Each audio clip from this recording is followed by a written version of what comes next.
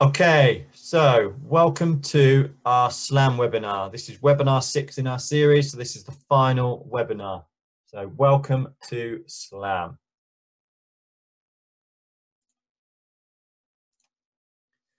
By the end of this session, hopefully you'll understand the term SLAM and you'll appreciate the methodologies to achieve a SLAM calibration of seabed transponders. So first of all, what do we think SLAM is? What do you understand SLAM to be at this particular moment in time? Before we go into all the nitty gritty details, what is SLAM? If you've ever Googled it, you'll probably get the definition. It is an acronym, so uh, some of you may be aware of that acronym. So what I want to know, first of all, is what you think SLAM actually is at this particular moment in time. Anybody tell me? Put it into the chat or onto the screen.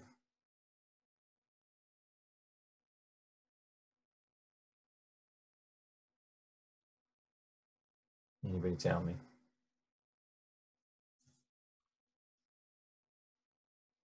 No. Oh, ah, there we go. Simultaneous mapping and localization SysSci. Excellent. Yep, so that's the acronym. So SL, SLAM is simultaneous localization and mapping. Excellent. Good stuff. So before we go into the nitty gritty details, it's probably worth just having a recap on a couple of things. So last week's, in last week's webinar, I left you with a final thought. Okay, so we had these, uh, originally we had a full LBL array with five Compatts here, and then we had a four Compatt uh, standard LBL array over here. And what we did is we reduced them down to sparse arrays. So the five Compatt pentagon shaped array became a triangular three Compatt array. And then the square shaped array, the four Compatt array became just a line with two transponders. And notice the orientation of this line here. This is designed so that when the vehicle travels along this particular pipeline, we're going to get those angles of cut that we talked about before. So we've got a, uh, a, a range from the side and a range from behind as we swing through this area here and that's going to help to uh, equalize that error ellipse. It's going to it's going to maintain maintain a decent error ellipse, which is going to maintain our decent precision of position. Okay, so what I asked you in the in last week's webinar is how on earth are we going to calibrate these these two arrays? We've got remember the rules of LBL. We need a minimum of four transponders in order to define position, and that's for calibration and tracking. So at the moment in this triangular array, have we got a minimum of four transponders? And in this one, have we got a minimum of four transponders? So what do we think? Can we do baseline calibrations? Put a tick or a thumbs up into the into the participants tab or just put yes or no into the chat or even fire it onto the screen if you want to. Whatever you want to do. Can we do baseline calibration for these two arrays? Anybody tell me? Tejaswani says no. And so does Sobri. Excellent. Anybody else got anything to say? Can we do baseline calibrations?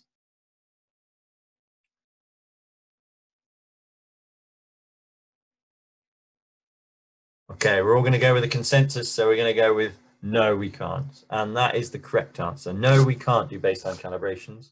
We haven't got enough points within each of these arrays in order to define the positions, the references. Okay. What about boxins? Can we do boxins? Again, do the same thing. You can put a, a, a thumbs up or a cross or a, whatever you want to do, or just put yes into the chat. Can we do boxins for these arrays?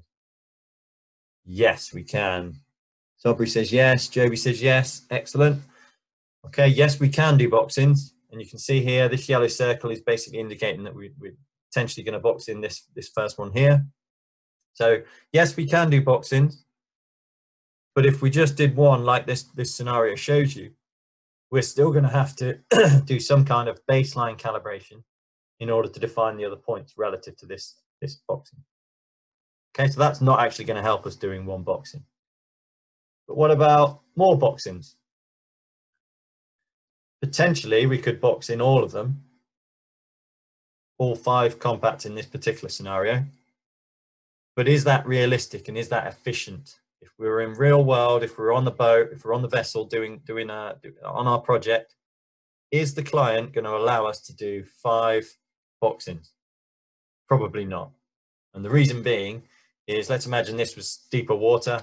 Imagine the radius that you would have to do at the surface with the surface vessel in order to achieve these boxings. It's going to be quite a large radius if this was if, if this was fairly deep water, which means if you've got five fairly large radiuses to cover with the vessel, that's going to take up a hell of a lot of vessel time. Okay, so it's something that a client probably wouldn't allow you to do because it's it's inefficient to do so. You may as well have just put another transponder on the seabed and just done simple LBL uh, relative calibration. Okay, so yes, we could do boxings, but we're probably not going to because it's inefficient to do so. Okay. But what about this term slam? The reason we're here. Okay, so slam, we could, you can see this one's maintained as a boxing. We could still box one in, but then slam the other transponders relative to this first point. Okay, so SLAM is simultaneous, localization, and mapping. Exactly as we said before, it's an acronym. Okay, so let's look at that a little bit.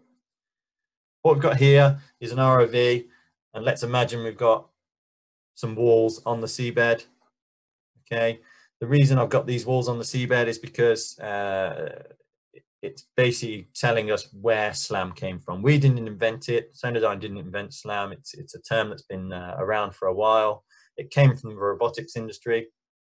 So what they used to do is they used to send a robot into a room and allow it to bump into things within that room. So it could bump into objects, it could bump into the walls. And whilst it's doing that, whilst it's bumping into things, it's it's learning about its environment. It's learning where things are in that environment. Okay.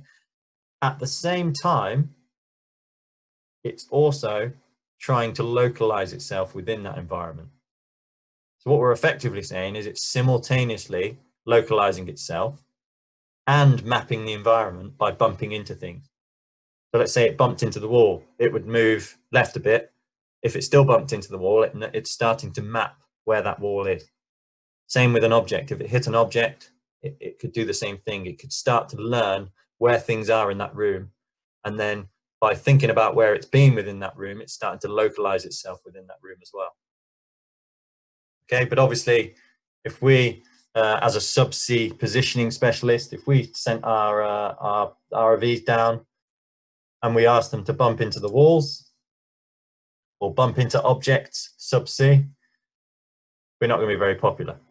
Okay, we could do we could do lots of damage. We could damage the ROVs. We could damage the subsea assets. You know, if this was a structure, we wouldn't be allowed to bump into them. Things like that. That would be a, uh, an incident offshore. Okay, so we can't do that. We can't bump into things. So we need to we need some way of uh, of using the systems available to us that we've talked about over the last few weeks, in order to simultaneously localize and map our positions and, and our environment. Okay, so what we're going to do is we're not actually going to map our environment, we're going to map the positions of something that you'll see in a minute. Before we do that, let's just have a, a, a recap. We saw this in, the, in some of the last webinars. This is our plan of our, our house. Okay, what we talked about was that we'd be sat at the kitchen table. Let's imagine it's dark or we've got a blindfold on and we need to navigate our way safely to the bathroom. Okay, so as a human being, what tools have you got available to you? Let's imagine it's a really dark, uh, it's really dark. You need to navigate your way to the toilet. What tools have you got available to you in order to safely make your way to the bathroom in this particular case? What are you going to use? Put it into the chat or onto the screen what what information are you going to use and what what bits and pieces have you got attached to your body if you like that's going to help you excellent Ratner yeah you got hands haven't you so you're gonna you're gonna feel your way around the room okay so similar to what we saw before with the ROV bumping into things we're to bump into things but we we've obviously got hands so we can we can touch. We can touch the walls, we can move along the walls and use that information in order to know how far away we are from certain things.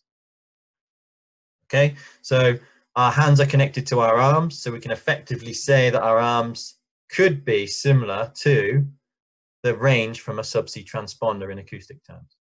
Okay, we know how long our arms are, so we know by touching the wall, if we extended our arm at full length, we know how far away from that wall we are.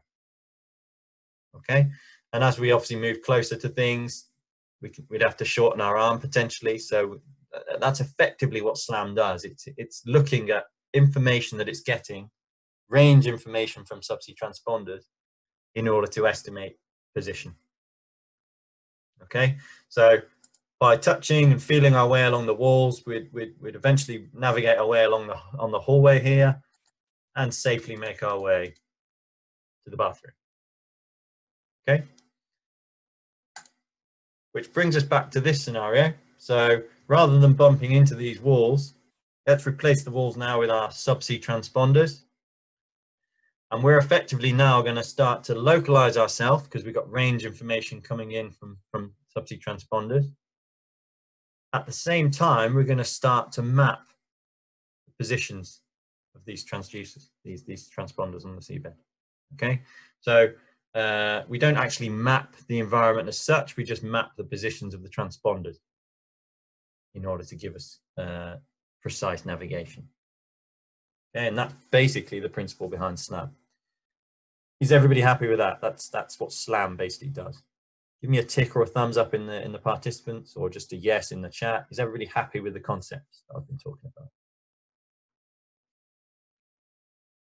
Excellent, good stuff. Thanks, guys. Everybody's following along nicely. Right, so our actual definition at Sonardyne is by combining very precise relative inertial movement with acoustic ranges, we can determine the position, the relative separation, and the orientation of a sparse array or a single transponder. Okay, so we've got this, this INS system, SPRINT-Nav system potentially on, on the ROV here. We're feeding range information from our subsea transponders into the Kalman filter of the inertial system and then we're using that inertial system in order to re-estimate the positions of these subsea transponders. Okay, let's assume this has got a very good position because it's got SPRINT-Nav, blah, blah, blah. Okay, so the, the, the, basic principle behind it is over here we've got an ROV with a known position. So how it came to that known position is, is uh, dependent on what systems they had in place in the first place in this particular case. So they may have a USBL system, in which case they could they could kick off the INS dead reckoning with USBL. Uh, once they're at the seabed, they might have a DVL, so they get bottom lock, which is going to give them a really, really nice, precise position once they've got bottom lock and USBL feed and pressure. Don't forget, they've got a pressure sensor feeding them for, for the Z, uh, the Z um, estimation. Okay, if they haven't got a USBL system, they could utilize another transponder on the seabed. Okay, it might be a known position. It might be a subsea transponder that's that's been uh, uh, reconnected to a, uh, a structure, repopulated a, a, bucket on a structure. That probably has a published position, so it's it's a known coordinate, and they could use that in order to position the vehicle in range aiding mode. Okay, so whatever position you've got here, it's a known position, it's a good position. As long as it's going to keep dead reckoning running for the INS, that is sufficient enough to start this process. Okay, over here, you can see we've got an uncalibrated seabed transponder. Okay, it's, it's the one we've just deployed. Okay, so we've got ROV with known position, we've got a deployed subsea transponder, we deployed that probably using the USBL system if we've got one. And what we took from the USBL was an initial drop position, exactly as we would with, a, with an LBL system. Okay, so we've got an initial drop position with an important part, it's the error estimate. okay, so not only do we send the initial drop position to the to the INS initially, we also send the error estimate associated with that initial drop position. And this is quite important because this is what the Kalman filter in the uh, in the INS is going to use as its starting point, the estimation of position. So it's, it's effectively how confident we think we are in this position.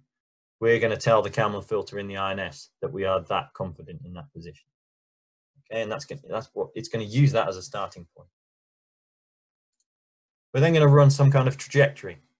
Okay, because we're only using ranges here, we're not we're not we're not uh, we're not like a USBL system. We can't calculate angles and bearings and things like that. This is still a range range system. So we need to do some kind of trajectory in order to collect a sufficient amount of ranges at uh, a sufficient geometry, uh, a range of, of, of uh, different angles in order to define position for something. Okay, so we're going to run a straight line trajectory in this particular case. And what you'll basically see the process is when we get our first range from over here, the first thing you'll see is that the initial drop position will shift to the length of the range. Okay, and then what you'll also see is that the error ellipse responds to the direction of the range, exactly as we've been talking about before. You know, the, the, the, the error ellipse is constrained in the direction of the range. Okay, the semi-major axis of this error ellipse will be the same as our initial error estimate for the first range that we get. Okay, so first thing that happens is the position shifts to the length of the range. We get an error ellipse associated with it, with the direction of the range, because we're fairly confident in this in this two-way travel time, assuming sound speed's correct and all that sort of stuff. Uh, and then we need to do some kind of trajectory in order to start to refine this position. So we're fairly confident in this direction because that's the direction of the range. So if you think about this, uh, that we want to constrain in, in, in multiple directions in order to, to refine this part of the error ellipse, that's what we're going to do. Okay, so this elongated bit, we need to do that straight line trajectory in order to start to constrain this side of the error ellipse. Okay, because obviously eventually we want to make an error ellipse equal. So we move along, we do our trajectory, we get another range. This time, the error ellipse shrinks slightly because we're now more confident in the position of this transponder. And it also um, uh, may move, it may move still, okay? It may move, may shift it slightly. So the SLAM algorithm may, may shift the subsea transponder uh, each time it gets a range until it's fairly confident. That's, that's where the transponder actually is. Then we move again and we get another range. Again, the error shrinks and it's, it's starting to get to a level where it's really confident in, in the position. So in summary, in a more dynamic sense, imagine we're ranging and ranging. We're not just taking three or four ranges, we're taking lots of ranges. As we swing by in our straight line trajectory in this particular case, we're going to get to a certain point where we've covered enough area in order to be very confident in the position of this transponder in, in all directions. So we've equalized the error ellipse. Okay, and this straight line trajectory is what we'd call a two-dimensional SLAM or 2D SLAM. And that is effectively utilizing the SLAM algorithm in order to define horizontal position of our subsea transponder.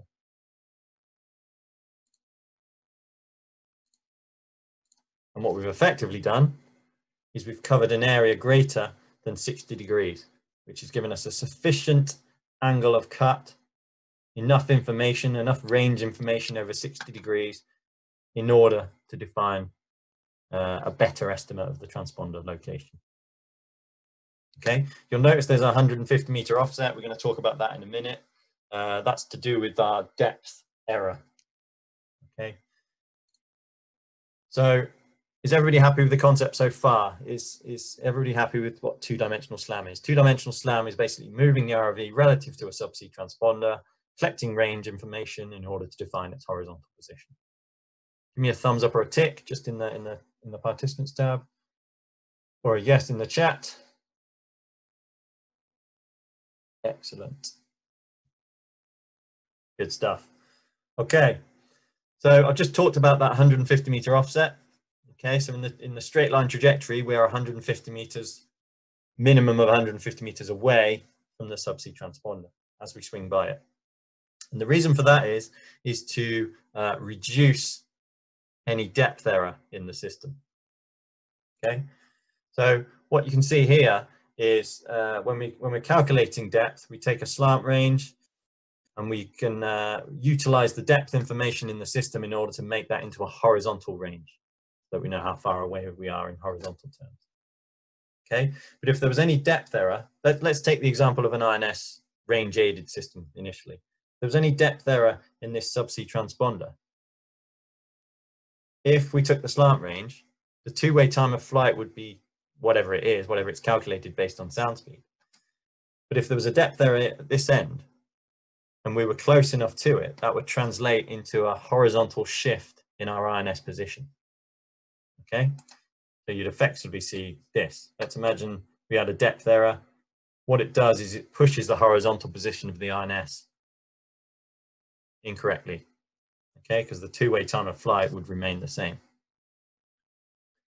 Okay, but what we're doing is that we're obviously estimating this end utilizing the INS. So the principle remains the same. Because we're estimating this, we need to maintain a fairly decent distance away in order to reduce the effect of any depth error. Okay, the same rules apply in LBL usually. The, the, the further you are away from uh, the subsea transponder, the less effect any depth error is going to have on the position of the vehicle.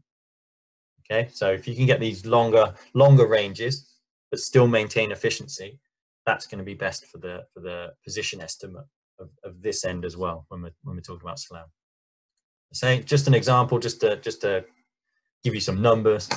If we had a one kilometer slant range and there was a one meter depth error, that would effectively equate to a one centimeter horizontal range error. Okay, so any estimates that we're making over, over a kilometre, if there was a one metre depth error, would only equate to about a one centimetre error in the position estimate. Okay, but let's make that a shorter range. Let's make that a 50 metre range. If we're still going to maintain that one metre depth error, but look what it does to the horizontal range error. That's going to make it a 20 centimetre error, which means that we're going to, that's effectively going to enter our system. That's going to enter our SLAM algorithm. And so if we're trying to estimate, re-estimate the position of this transducer, we could potentially have a 20 centimeter depth error, uh, 20 centimeter uh, horizontal position error if we get too close. Okay, so the whole reason we do that 150 meters is because it still maintains efficiency.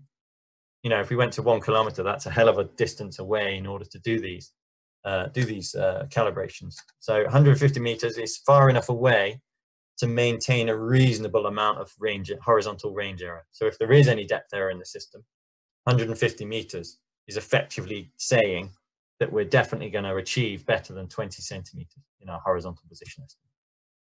So when we're talking about SLAM, we're effectively less than 20 centimeters in our position estimate.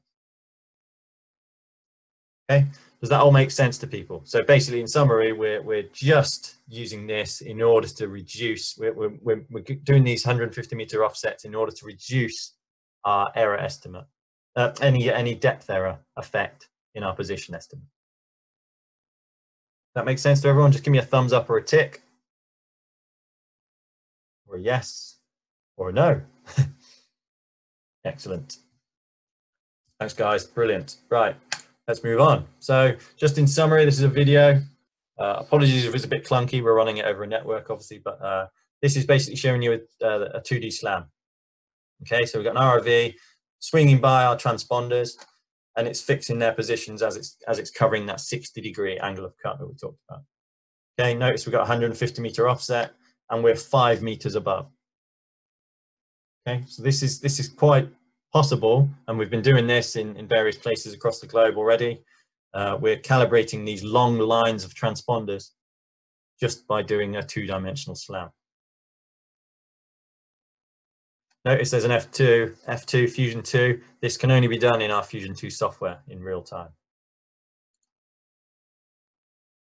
Okay, so we've just talked about reducing the depth error estimate in a two-dimensional slam, but we can also use the SLAM algorithm to define depth. Okay, so to define depth and horizontal position, we call this a 3D slam.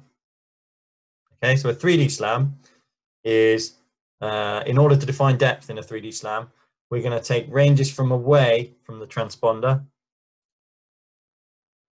and over the top, or as close to over the top as we can get, still maintaining line of sight to the subsea, uh, to the to the RovNav transducer on the top of the vehicle.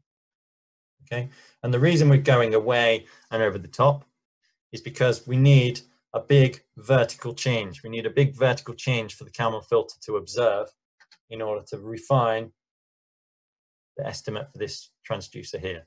Okay, so we're refining depth est uh, estimate for the transducer. So by taking ranges away and over the top, we've got this big vertical element that's observable to the Kalman filter in the INS, and that allows it to estimate depth uh, to, a, to a high level. Okay, and what we came up with with uh, with a trajectory that you could run subsea we did lots of early tests with this and, and this was the best that we came up with that's that's easily manageable for an ROV with its tether uh, and all that sort of stuff. So that you can see we've got this offset circle. Subsea transponder is here. We've got this offset circle and the closest we get is, is five meters. As, so what we're going to do is basically start here at the back of the circle. We're going to swing in.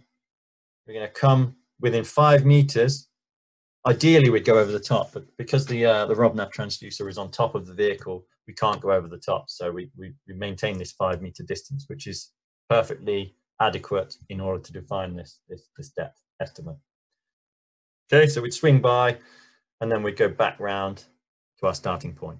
And one circle would be enough in order to, to, to refine both depth and position. Because not only are we estimating depth by taking ranges away and over the top or as close to over the top as we can get. We've also got this angle of cut, this 60 degree cone that we've achieved with the radius of this circle. So this is typically a 40 meter radius circle. So the ROV would maintain its heading, do a 40 meter radius circle. That would give you the angle of cut, the 60 degree, in order to, to define position. And we've also gone away, collecting ranges and over the top in order to refine depth. Okay. So that's 3D SLAM. If you saw it in the software, and this is Fusion 2 software, again, you can only do this in Fusion 2 in real time. So ROV is doing its offset circle. We're going to swing by closest point of five meters. We've got a horizontal estimate going on here and a depth estimate going on here. So you can see the depth comes right down as we swing over the top. And on the screen here, you can see there's this fan appearing, which is where we're getting decent range information into the Kalman filter. So you can see that's likely to end up as a, a nice 60 degree cone, which is enough information to, to refine our horizontal position of our transponder. Okay. That's what it would look like in, in freeze frame. Okay, so horizontal estimate here, depth estimate here. This is an indication of how far the subsea transponder has moved based on the drop location that we initially gave it. Which brings us back to our scenario. Okay, so I asked you how on earth we'd calibrate this. We talked about SLAM. So the process we're likely to go through is we box in the first one because it's it's useful to have a known coordinate on the seabed in order to kick off the INS and dead reckoning and all that sort of stuff. Okay, we can also position everything relative to that once we kick, kick this process off. But you wouldn't necessarily need to box in a Compatt. As I said before, it might be a repopulated structure Compatt with a known coordinate. Okay, so in this particular case, we're going to use range information from this initial transponder we're going to 3D slam our first transponder that we put on the seabed, ranging to all of them. We're going to fix this one in 3D. Then we're going to position our next one, ranging to all of them. Then we're going to move on to the next one. We may fix this one and use the range information from all three of these to position these two in 3D, 3D SLAM. Uh, the SLAM algorithm has a maximum of three transponders in at any one time. So obviously this one we would have to fix at some point in order to calibrate these three, these further three. Okay, and that's why I said we might fix this one or we might leave it in the SLAM algorithm whilst we go and do these two because we've got the maximum then of three in the SLAM computation. Okay, not to say you have to do that, but that's that's the limitation currently. Okay, so that's basically how we'd calibrate our triangular array and our line here. And as you saw before, we could do a long line of transponders quite happily using this, this type of technology. Is everybody happy with that so far? Before I just talk about a real world example, just give me a thumbs up or a tick. That's a, that's a, basically the process of a 3D SLAM, how you would tackle that problem that we talked about. Excellent, everybody's happy with that. Good stuff. Okay, let's just finally touch on a real world example. Uh, metrology is a good place to go because it is a highly precise uh, task to do subsea. So we did a comparison between a, a full acoustic metrology and a SLAM metrology, and we got very, very decent results as comparison. So what we've got here is our, you know, we're going to put our connecting piece between the two structures. This is what we call a point-to-point -point metrology. So we've probably got a gyro Compatt here and a gyro Compatt here. The reason the gyro Compatt is because we want to collect pitch and roll information and heading information in order to, to, to complete the metrology. But what we can use the SLAM algorithm for is to define the distance between these two points because we can define the horizontal positions and we can also define the depth using the SLAM algorithm. So ROV would run a series of trajectories. In this particular case, it's doing a big circle, collecting ranges all the way around these two transponders.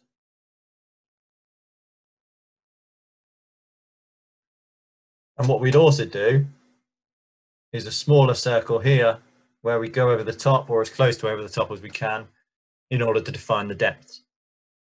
Okay, so we do a 3D slam here and then we do a trajectory here to define horizontal position. Which would give us our metrology results. Uh, this is the results that you see. So we did the trajectory around the outside, two smaller circles to define depth, and the results you can see over here. So Compared to a conventional metrology, this is our horizontal distance. We only had a, a difference of eight millimeters. And our depth difference compared to our conventional metrology was only 16 millimeters. So it's incredibly, uh, incredibly competitive. You know, and we've, uh, you can see in the picture here, there's two other transponders in a braced quad network. So we compared it against the full conventional braced quad metrology that you're likely to see most commonly used.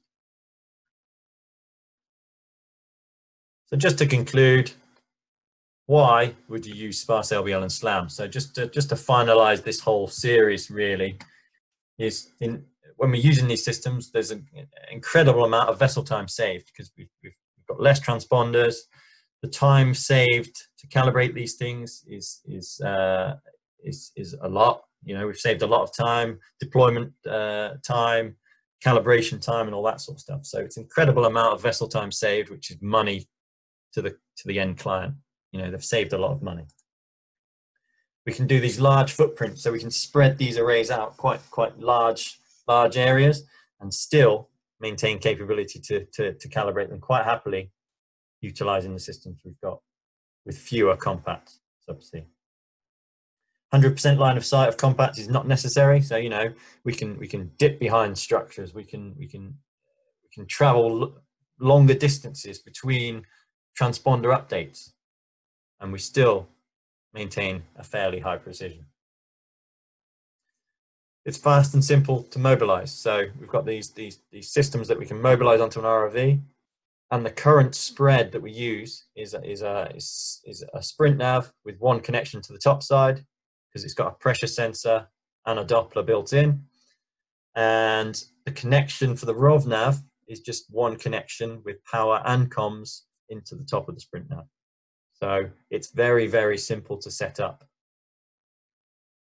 INS can become a standard fit on the ROV. So what we've started doing at Sonardyne is rather than um, uh, going to survey companies with, with, with these systems, we actually go to the source. So we go to the ROV team, uh, the ROV manufacturers and the AV manufacturers, and we, and we fit these systems as standard so that across the board, anybody that's using that, that particular system has the capability to do this, this type of technology. So money saved in removal and replacement costs for the for the the, the end user. You know, the, the, the survey company may save a lot of money themselves because they haven't got to remobilize all these systems all the time because they're a standard fit on the vehicles themselves. So it also provides greater ROV capabilities. So you've got these ROVs that have they've got these highly advanced systems in place constantly, which means that it's that it's improving the RV capability from from the offset. And then finally, faster update rates of position and sensor data with wideband 3 and Fusion 2. Uh, we haven't talked too much about this. Well, we have in, in previous webinars, but not today. But but obviously, by coming on a training course and, and, and you're going to learn about all these advantages that come from using wideband 3 and Fusion 2 and, and how that ties into SLAM and, and, and our sparse networks and that sort of stuff. So we've improved the efficiency of, of everything across the board using these systems. Which brings us to the end of the webinar. So hopefully by now you understand what SLAM is and you appreciate the methodologies to achieve a SLAM calibration of seabed transponders. Just to recap, we've, we've been through the whole webinar series. We've just finished webinar six. So that is the conclusion of the series. So excellent. It's been a pleasure delivering it all. If you want any more information on uh, our training courses, we are going to be running full training courses uh, starting in June. And that's LBL courses uh, and INS courses and Ranger 2 USBL courses. So we are in the process of doing online uh, conversions and they will uh, be ready in June. So if you want any information on those, contact us at training on the website or on LinkedIn or Twitter, or you can email us at training at sonardyne.com. Thank you for your time and stay safe.